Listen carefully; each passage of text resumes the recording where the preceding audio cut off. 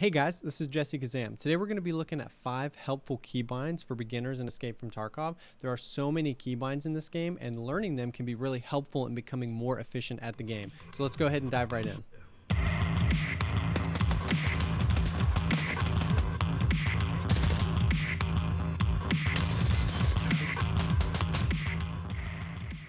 All right, so let's dive right in. The first one we're going to talk about is how to check your mag. So Alt and T He'll pull the mag out and check.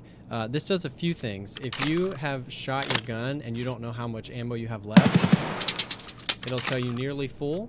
Uh, if you pick up somebody else's weapon after killing them, you can check how much ammo is in that mag. But also, if I do it again and see in the bottom left corner, it'll tell you the caliber of the round and the type of round, uh, which can be super important.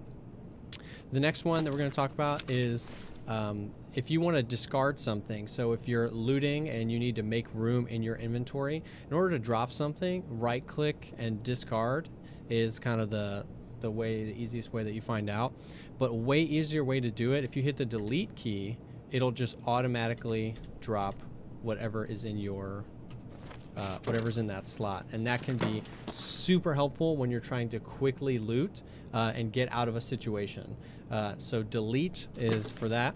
Uh, the third thing we're going to talk about is binding meds. So uh, as opposed to having to come in your inventory, right click and use, you can bind it to a number. Now, the, the way that I found out how to do this first is when you drag down to the numbers four or five. But once again, a way easier way to do that, whether you're in the menu or whether you're in raid and you had to pull some extra meds out of your gamma or pull meds off of a dead body, is you can actually just hit the number, place your cursor over it and actually hit the number on your keyboard, or if you have them bound to a mouse or something like that. Uh, and it's a way easier way to quickly bind meds and get using them in a firefight. Um, fourth thing we're going to talk about is crouch height control. So by now I'm sure you know if you press C, uh, you can crouch. But a really cool thing about Escape from Tarkov is you can actually, if you hold C and use the mouse wheel to scroll, you can actually toggle how high or low your crouch is.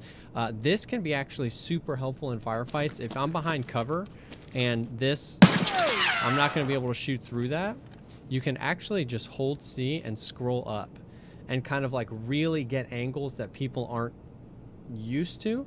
Another huge benefit of this is that there are a lot of players that know um, head height in the game, uh, whether you're standing or whether you're crouching, and they can kind of pull their cursor just at head height.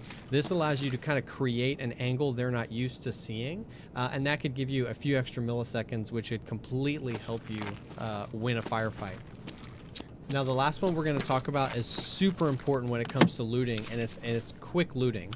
Um, so I've searched this, um, and this can be hugely helpful in a firefight, um, especially when you're trying to loot and just get out of a situation. So I can drag this into my stash, uh, or I can drag it to equip it.